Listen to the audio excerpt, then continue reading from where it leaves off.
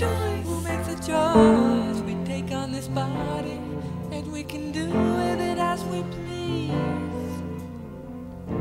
Self molestation, self preservation.